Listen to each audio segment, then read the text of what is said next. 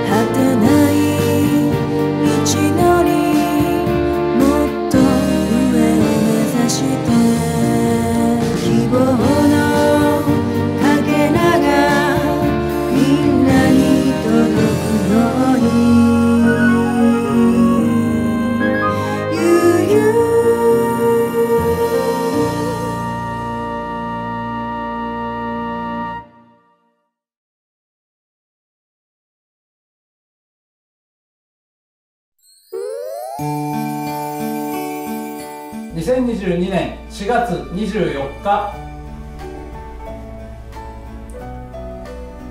こんにちは作曲家ピアニストのゆうたです。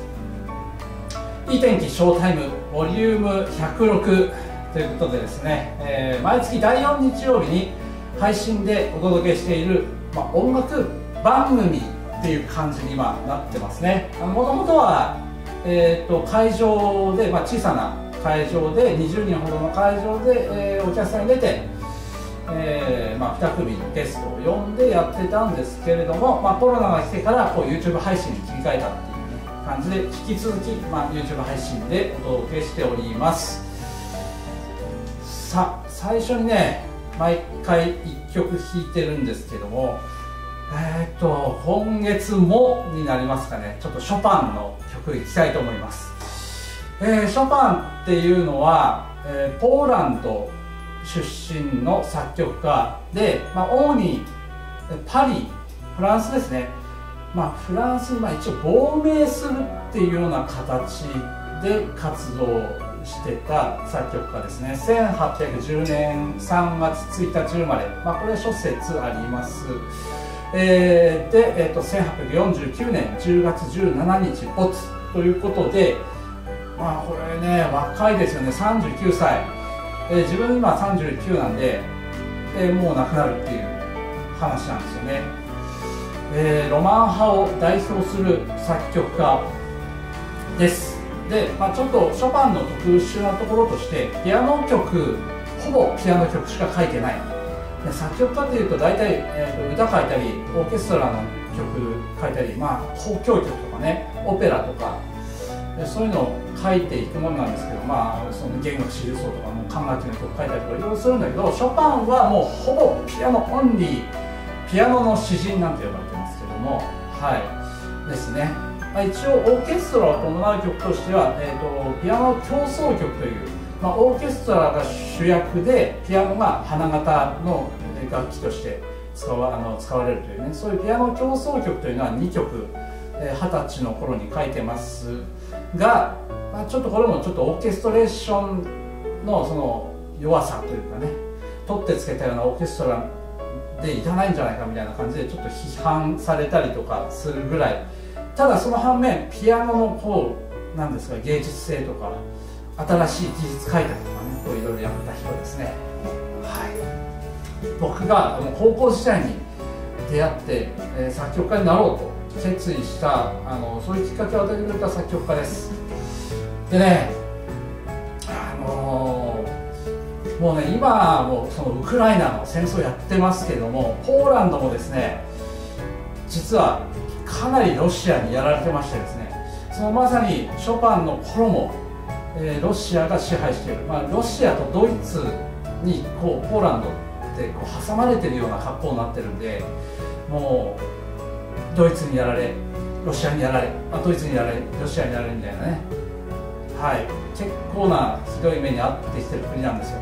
でショパンの頃もまさに、えー、この大国ロシアに支配されている。そういう時代ですね、まあ、ポーランドのその政府っていうのはあるんだけれどもあの実権は全部ロシアが握ってるみたいな、はい、感じで、まあ、だから二十歳の時にそのパリに、まあ、亡命するような形で出てきて作曲活動するんですけどもまあちょっとね長くなっちゃうんですけどもちょっと話させてください。あの、よく革命のエチュードって呼ばれてる曲あるでしょ。あれなんかはそのパリに二十歳の時に友人と一緒に出てくるんですよ。でその時にポーランドで革命が起きるんです。そのロシアの支配に対するその反抗する、まあ、革命軍がこう、えー、暴動を起こすという、えー、ワルシャワ放棄とかなんて言いますね。で、えっと、それが起こった時に友人はもうすぐに帰ると。その革命革命軍に参加してロシアと戦うんだと言って帰るんですけれども、まあ、ショパンもその時にね、まあ、僕も一緒に帰るって言うんですね。でだけど、まあ、ショパンってもともと体が弱くてずっと肺結核で、えー、苦しんでたというねこともあってもう3ヶ月4ヶ月に1回は倒れて寝てるみたいな感じの、ね、とても戦争で戦えるような体じゃないと。で何バカなこと言ってるんだ。君は音楽があるだろうと、ね、で、まあ、たとえポーランドがこの戦いでもうみんなポーランド人全滅して滅びたとしても、君が音楽を作曲することによってその作曲した音楽の中にポーランド人の魂がずっと生き続けるんだから君はここで作曲をしなさい。と言って、まあ、ショパンショパンをこう無理やり押しとどめて、まあ、友人が一人でポーランドへ帰ってしまうというそういうエピソードがあってでショパンもでもうん自分も国のために戦いたいっていうことで諦めきれずに夜になってからこの馬ですね。馬車を引く馬をこっそり、えー、離してそこに乗ってあポーランドへかけていくんですけどもまあもちろんね体力なんてありませんから途中で、まあ、力尽きてしまうわけです。その時に、まあ、この革命のエチュードって呼ばれてる曲？こ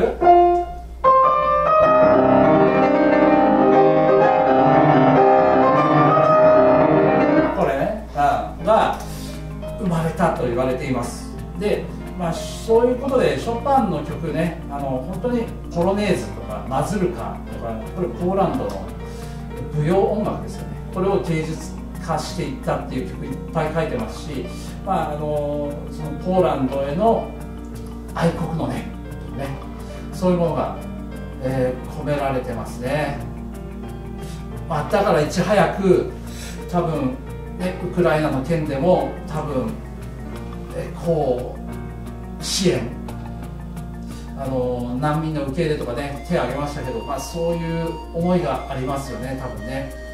はい。ということで今日はショパンの曲「別れのワルツ」と呼ばれている曲ですね。ワルツの第9番演奏していきたいなと思います。これはですねショパンが25歳の時にえーとまあ幼幼なじみではないですけれども昔から知ってるその貴族の、え霊長に再会するんですね、え当時16歳ぐらいかな。で恋をします。でその、えー時に、え彼女に捧げた曲なんですね。ただ、えー、とこの恋愛はですね相思相愛だったと言われているんですけれども、えー最後には破局してしまいます。というのもあのショッパンがその体が弱かったっていうのもありますし、まあ、当時ねあの日本人だとあまり感覚ないかもしれないですけどこうやっぱりヨーロッパとかって階級社会なんですよ。もう階級が絶対みたいなね、うん、だから、まあそのねおまあ、音楽家っていうとまあ大体貧乏でみたいな感じですよね。そうなってくると貴族と結婚とかってなかなかねまあ親は絶対反対しますよねみたいな感じで。で体も弱いんでしょ？みたいな感じで最後はその、まあ、両親が反対する特にお父さんですかね。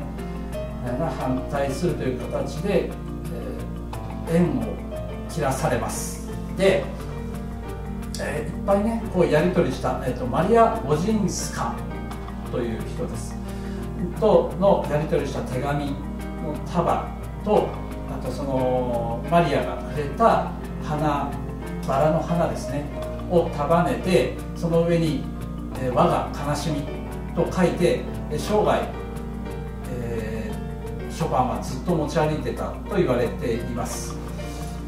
はい。で別れだから別れのワルツって言われてるのはそのエピソードがあるからなんですけど実際この曲を書いた時はお付き合いしてる最中多分幸せの真っ只中なので多分愛を表現するような曲っていう感じになってます。別れだから別れの曲って思われがちなんですけどあの多分愛を、ね、語る曲みたいな感じになっています。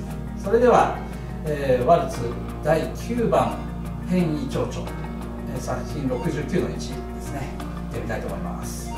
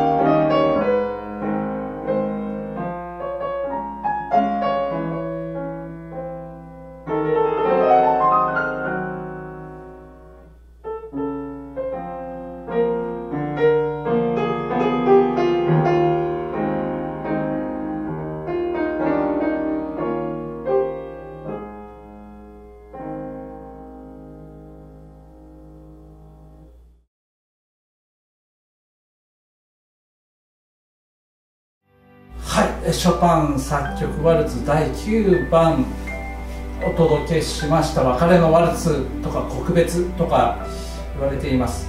ねワルツっていうと皆さん踊る音楽っていう感じだと思うんですけどそのショパンのワルツっていうのはそういう音楽ではないんですね。ワルツ、えっと、19曲でしたっけ書いてますショパンのね、えー、中心的な作品集なんですけれどもあのどちらかというとそういう、まあ、芸術性を高めた。これを使って踊るとかじゃないんですね。えーとまあ、っていうかこの「ダワルツ第9番」ってこの曲で踊ろうったって踊れないですよね。はい。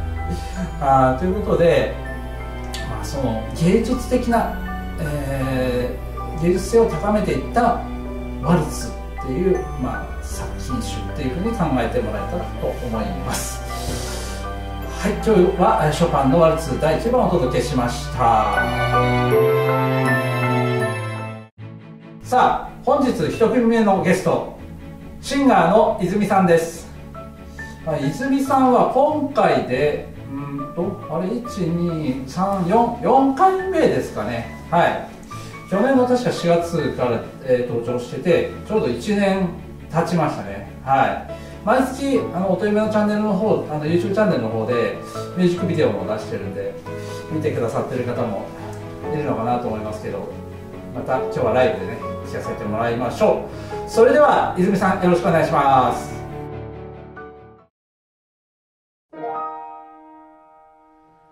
この気持ちは本物よ。だから明日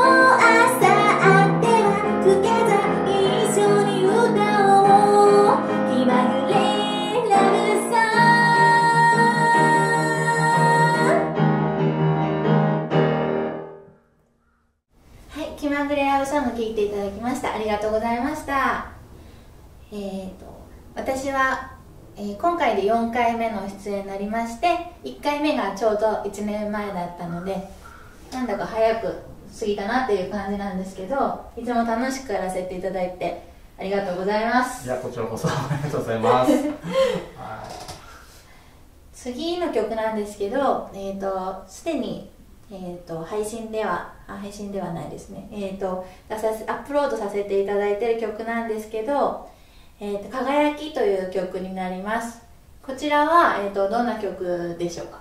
まあ、そうですね。このか新幹線が富山で開業した時2015年の、えっとはい。3月14日に開業したんですようんね、うん。そのぐらいの時期に、えっとまあ、新幹線ソング変えてみたいなというのがあって、まあ、その前の年にちょっと別のえー企画で「あのまっすぐ黒部」っていうね、えー黒部の澤田みどりさんっていう、まあ、演歌歌手の方が、えー、と作詞して僕が曲をつけてっていうんでね、うん。あのー作ってたんですけど今度自分一人でオリジナルを作ってみようと思って。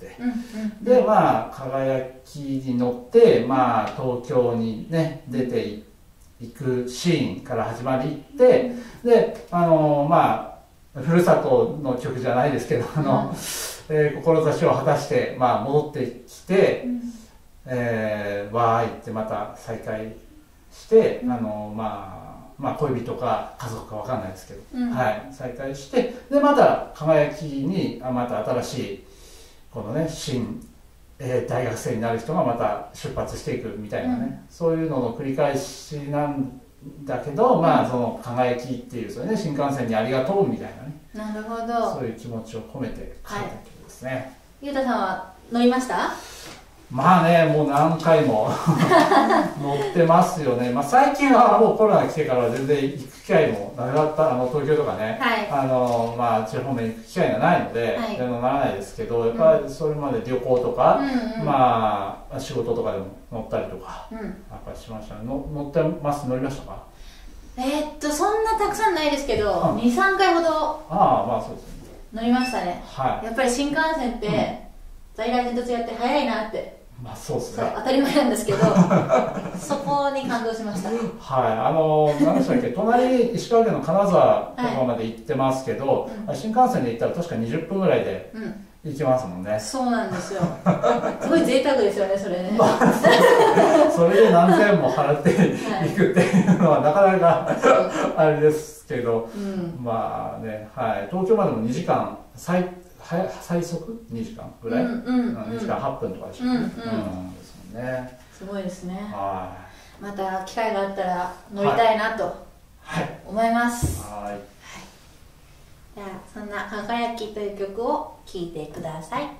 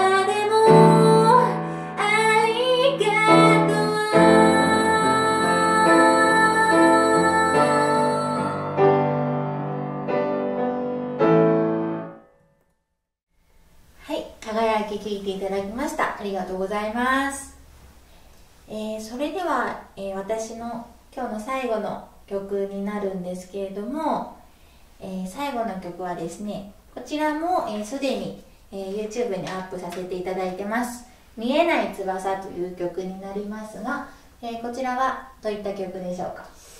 そうですね、これ6年、ん7年前、あ、6年前か。に、えっと、1回公開ミュージックビデオ公開されてまして、はい。そちらのミュージックビデオはなあの僕があのブランドソフトボールっていうあの、まあ、視覚障害者の野球ですね、はい。あ下転がしてやる野球の、うん。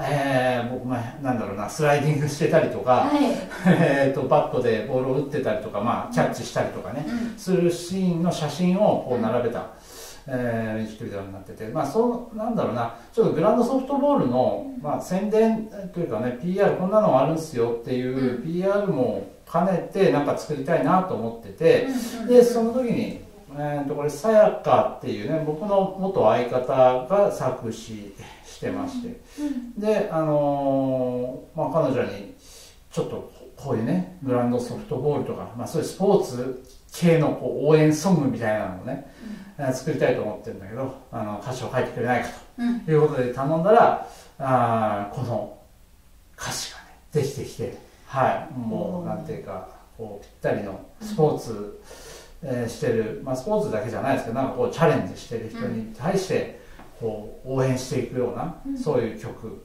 になりましたね。はすごい爽やかなメロディーと、いそうですね。そう。なんかこう頑張るぞみたいうなん。歌詞ですよね、そうなんですよね。うんだからなんかどっかのねあのチームの応援歌とかに使ってくれないかなとか 募集してそうです、はい、なので、おーいいねって思ったら、ぜひあのはい声かけてもらえたら 嬉しいなと 思います。あの見えない翼ですでに公開されてるゆうたさんの姿が見れるやつもありますのでそちらもぜひご覧くださいそうですね。はいはい。では最後の曲「見えない翼」聴いてください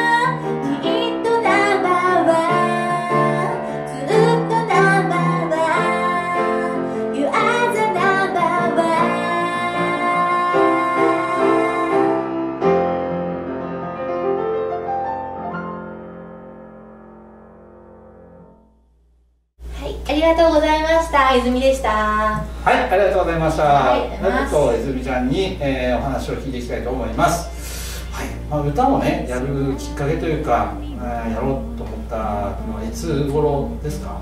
えーとそうですね。歌をやりたいと明確に思ったのは、高校の時に、まあ、吹奏楽をしていて、うんうん、なんか人と合わせる楽しさを知って、でさらに、まあ、歌バンドとかもやり始めましたし、うん、その歌を通して自分自身がいろんな気持ちにはいはなるなと思って、そこで自分の歌でもなんかこういろんな感情を持ってくれたりはしてくれたらいいなと思って。い。なるほどですね。うん、まあ、えっ、と、今もう、えっ、と、バンド活動とかもしてる。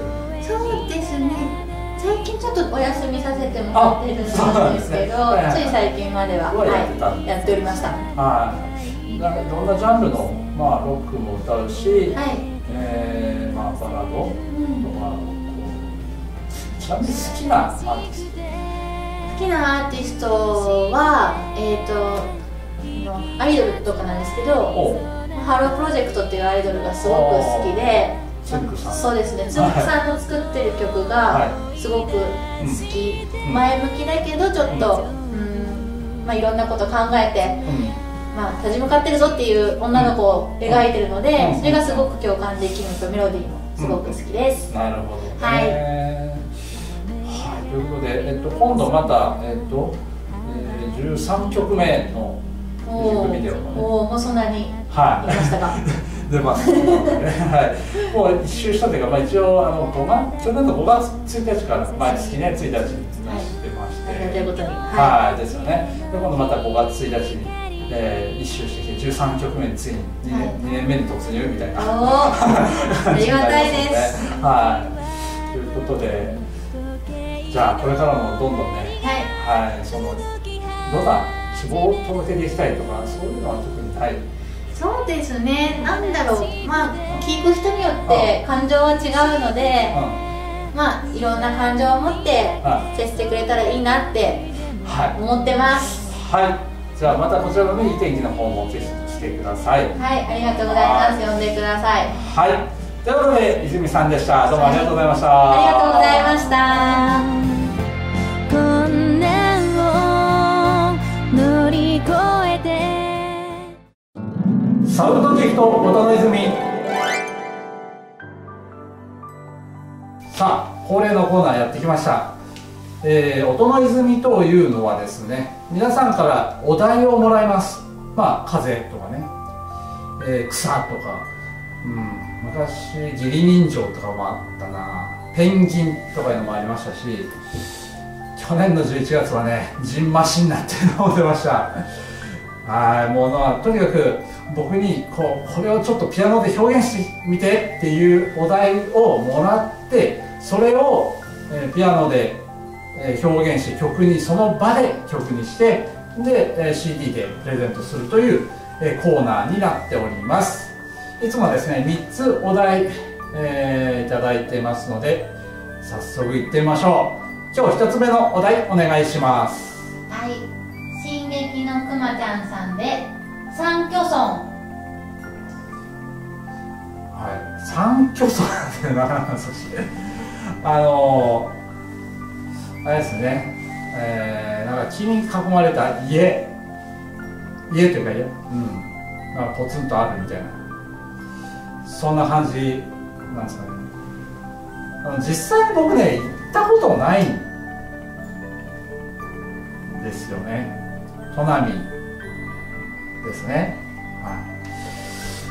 これねなかなか難しいですね。あのなんだろう勝手にあの何でしたっけポツンと一軒家みたいななんか番組ありました あんな感じなのかなとか思ったりしてるんですけど。じゃあ行ってみましょう。三巨村。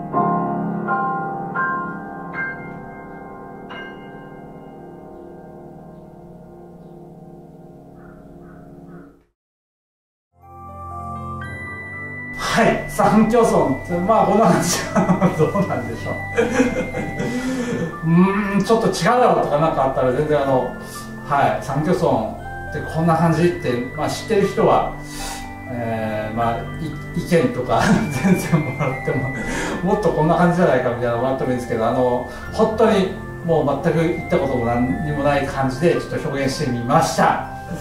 はいそれじゃあ2つ目のお題お願いします。はいたくさんでソフトクリーム。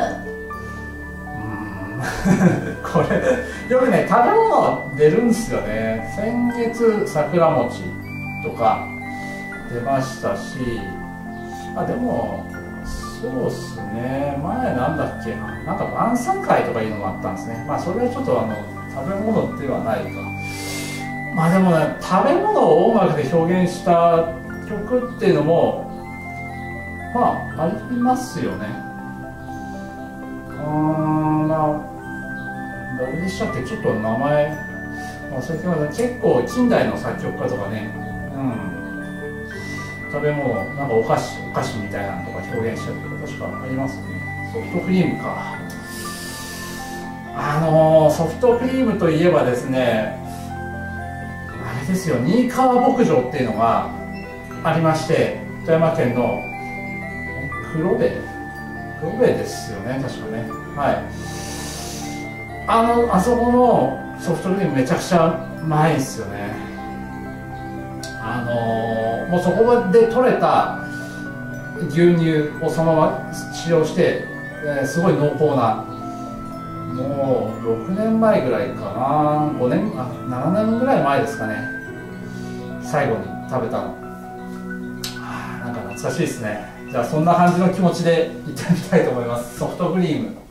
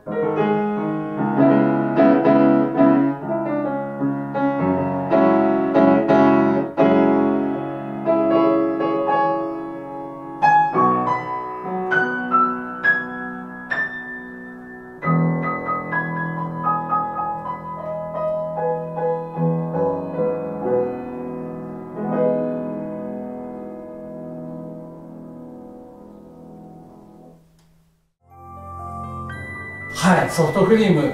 うんほっぺたが落ちそうな甘い感じとろけちゃうよみたいな感じでちょっと表現してみました。さあそれでは今日最後3つ目のお題お願いします。はい、えピュアさんで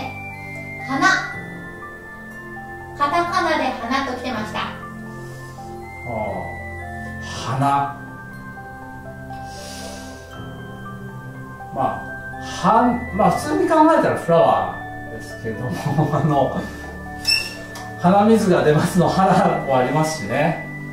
はい。あまあでもそうっすね。なんか花で花粉で鼻水が出ましたみたいなつながりのストーリーとかもありますかね。なるほど。ちょっと言ってみましょうか。鼻。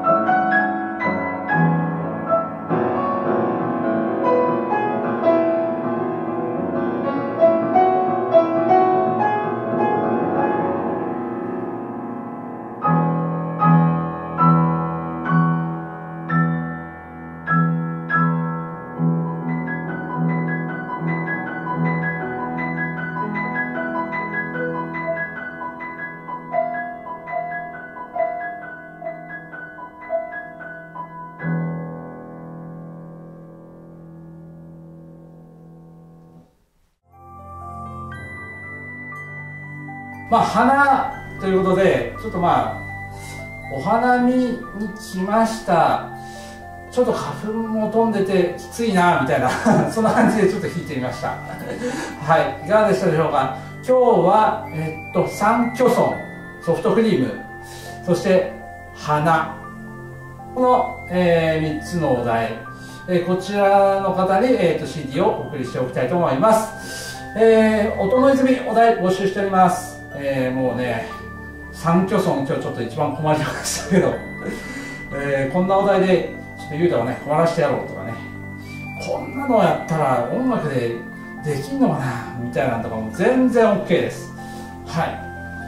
お題大募集しております。宛先はい info アットマーク音夢 .com えー、info アットマーク otoyume.com こちらまで「整泉投稿」という、えー、タイトルでペンネーム、まあ、ニックネームですね。とお題書いて、えー、どしどしお送りください。こちらの概要欄の方にも貼り付けてあります。お待ちしております。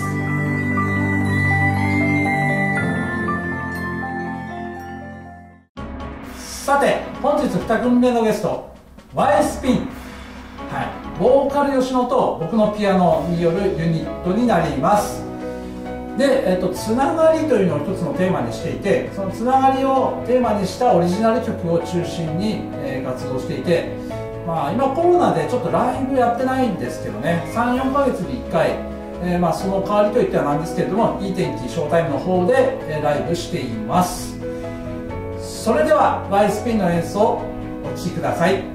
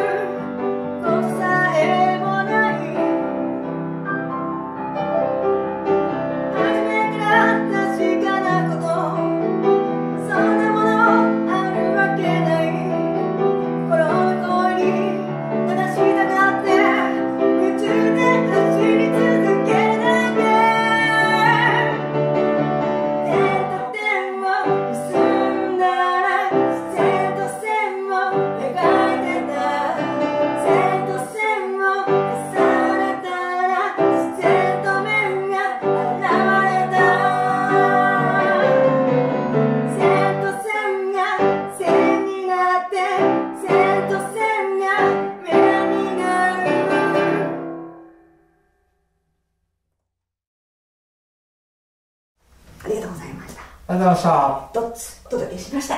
はい。はい。これはですね、去年書いた曲で、10月くらいかな、あの、100回記念の時にね、初めて披露したんですけれども、まあ、あの、えっ、と、ジョブスですね、あの、その、スマホとかね、あの、スマホっていうか iPhone か、iPhone 作ったりとかしたあの人が、その、点と点をつなぐっていうね、コネクティング・ダ・ドッツっていう、ね、こう、まあ、名言というか残しましたけれども、えーそれに対して、こう、ホリエモンが、えーあの、点と点をつないでいくのは、こう、なんか、準備して、ね、計画してやってたわけじゃなくて、まあ、その、適当にね、点をいろんなことやってきて、点をえーこう踏んできたら、それが、なんか、繋がったっちゃったぜ、イェイみたいな。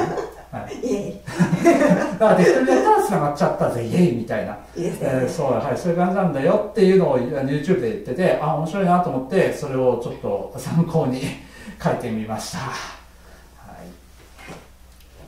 い。DOTS ドッツでしたはい、えー続きましてですねえっと「ベクトル」という曲をお届けしていくんですけれどもこの曲はどんな曲なんですかね？そうですね、まあ、あのなんていうかな、自分に正直にというかね、あーまあ、そうとか現実とかをこうきっちりと受け止めて、まあ、逃げずに立ち立ち向かうというかね、えーそれを全部受け入れていった方がうまくいきますよっていうね、そういうような、えー結構ね、うまくいってる人ってそういうなんか、えーこういう嫌なこととかね、きえー嫌いなことも、こう、えー受け入れてやって、そのね、好きなことと、あまああんまり区別せずにね、こうやってるんで、あそういうのがいいのかなと思ってちょっと書いてみました。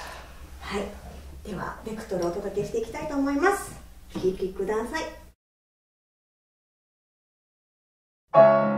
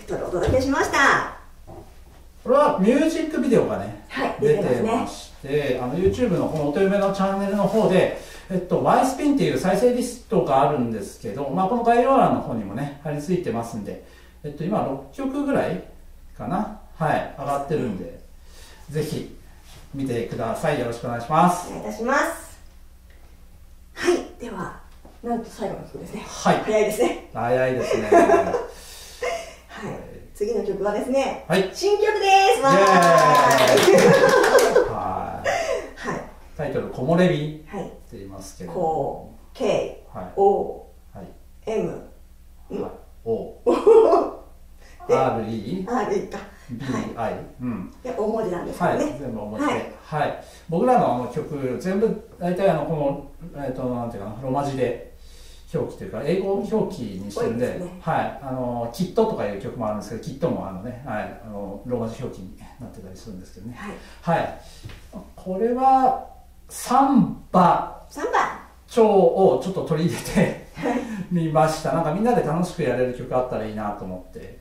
はい。であの中間のところに「Let's go singing」「Let's go dancing」っていうのが出てくるんですけどなんかこうコールレスポンスで「Let's go singing」Let's go singing「Let's go dancing」Let's go dancing! ってやれるようになってるんで、はい。あのよかったら画面の向こうで、はい。一緒に歌っていただければはねい、矢のびを返していただけたら嬉しいかなと思います。はい。ぜひライブでやりたいですね。そうですね。早くライブでやりたいですね。はい。はい。はい。ではお届けしていきます。木漏れ日です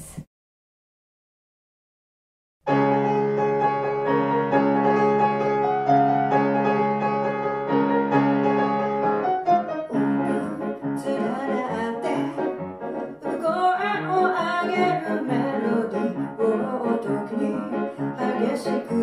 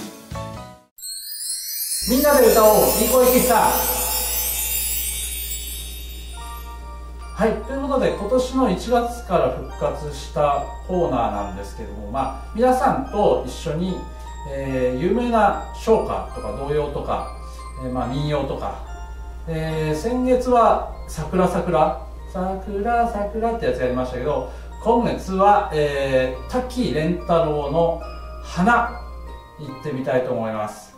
春のうららのってやつですね。はい。これね僕昔あのーまあちょっと目の病気で東京の病院にこう入退院してたんですけど昔ね上越新幹線そうですね。あのさっき輝きとか出てましたけどあの昔輝きって特急だったんですよね。輝きっていう特急に乗って、えっと、新潟の当時長岡。長岡で乗り換え上越新幹線乗り換えだったんですよね。でその後はねあのなんだっけえー、なんか白鷹あ白鷹とかできましたけど。はい。えーっとその上越新幹線の車内ベルがこの花だったんですよ。上の角っかのところで鳴る。うん。ですごいなんか印象に残っててすごい好きな曲なんですけどね。はい。でまあ滝蓮太郎っていうとねこの日本にこの西洋音楽が入ってきたのって明治になってから鎖国をか、ね、開国して、えー明治時代が来てから一生懸命この日本人が、えーそう欧米列強に負けるなみたいな感じで、えー、とこう西洋文化をバンバン入れていって、まあ、音楽もそのまさにねそういうことですよね。このクラシック音楽、えーをどんどん入れていった。そういう黎明期の作曲家ですね。滝蓮太郎。で、まあ、あの滝蓮太郎1879年生まれ。で1903年没なんでなんと23歳の若さにして亡くなってしまったので、まあ、当時ね肺結核ですね、まあ、結核にかかったらもう助からないみたいなね、はい、時代でしたのではい。でもう滝蓮太郎の曲って34曲ぐらいしか残ってないんですよ。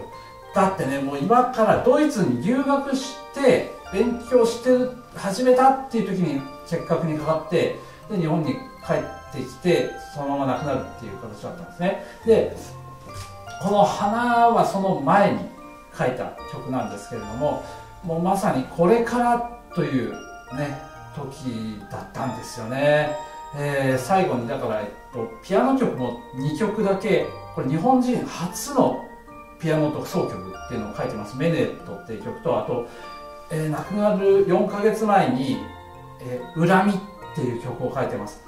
これ恨みって言ってもあの恨むっていう字じゃなくてあの遺憾ながらとかの憾っていう字を書いて恨むっていう字あの曲なんですけどもあのこれなんかこういう曲です。ってい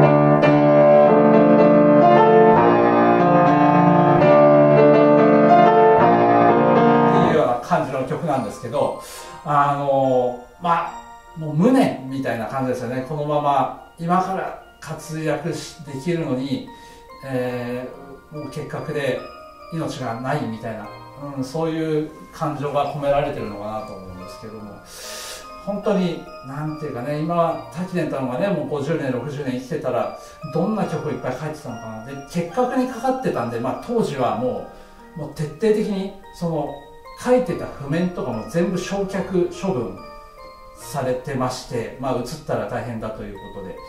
なので本当になんかスケッチとかね多分いっぱいあったと思うんですけど、えー全部処分されてる。そんなね作曲家になってます。音楽の教科書に載ってるんですよね。これ中学校の音楽の教科書展示の音楽の教科書を持ってきたんですけどこれ3年生の春にやったんですよね。よく覚えてます。ここに載ってるピアノ伴奏譜を見てちょっと練習してきたんでね、えーちょっと緊張しますね。今日はあの聞いてみたいなと思います。今日は泉さんのね歌でお届けしていきたいなと思います。春のこううららかな隅田川のこう風景をね描いた楽曲になっています。それでは泉さんよろしくお願いします。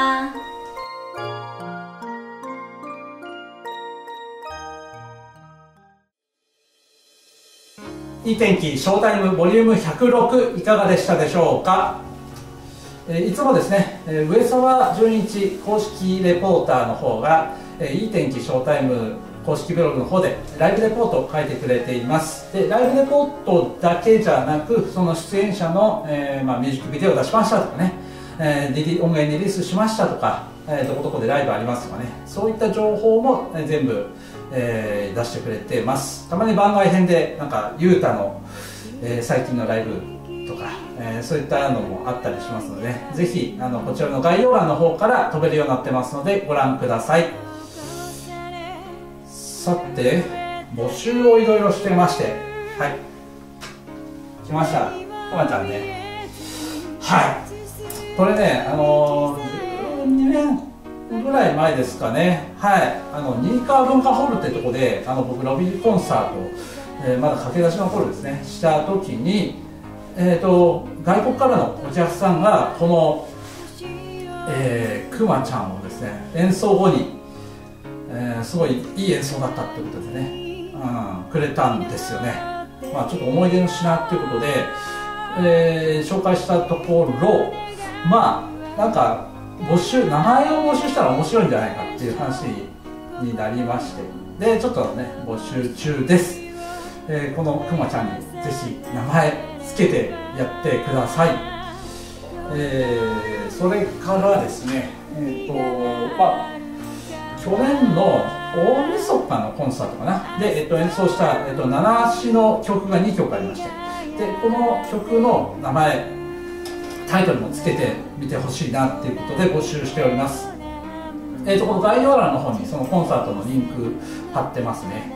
はい。それから、えー、と曲こんな曲作ったら面白いんじゃないかとかこういう曲作ってみてみたいな。なんか皆さんからの要望とかあったらぜひ送ってもらえたら嬉しいなと思ってます。テーマでもいいですし、えー曲名この曲名で曲作ってみてとかでもいいですしあなんかこんな、え誰々みたいな曲作ってみてとかでもいいんですけどもなんかそういうのをもらったらちょっとチャレンジしてみようかなと。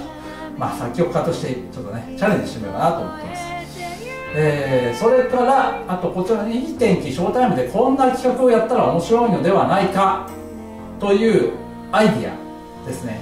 まあ、えーと名物コーナーとして音の泉っていうねあの即興演奏のコーナーやってますけれどもまあ他にもこういうコーナーがあったら、えーみんな見たくなるんじゃないかとか私は見てみたいとかいうのがあったらぜひアイディアお送りください。はい、でこの4つの募集すべて、えー、と一応2022年5月1日、えーまで募集ということになっておりますので、えこちらの概要欄の方にすべてあの詳細とか、えー応募方法とかね、え応募先のメールアドレスとか書いてありますのでそちらを、えチェックしていただいてうんぜひどしどしお寄せいただければと思います、えまあ、当選された方には事務所の方から、え商品が、え送られることになっておりますのでよろしくお願いします。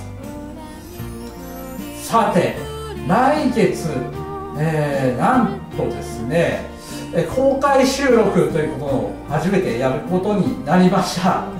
であの配信は5月の、まあ、22日、えーいつも通り第4日曜日の14時から YouTube で配信なんですけれども、えー公開収録を、えっと、5月の2日の月曜日、えっともう1週間後ですね。はい。に、えっと、上市町のショッピングタウン春というあのショッピングセンターですね。の中にあるアミューっていう、えー洋服雑貨屋さん、うん、ここで、えー公開収録をします。で観覧は、えーもちろん無料ということになっております。えーとまあ久しぶりの、まあ、ライブですよね。